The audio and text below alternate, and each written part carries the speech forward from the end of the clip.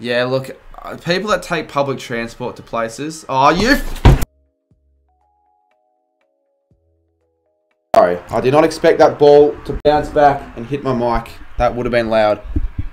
I don't know. I'm just a bit frustrated that he missed that because I really wanted Richmond to keep kicking goals and reduce.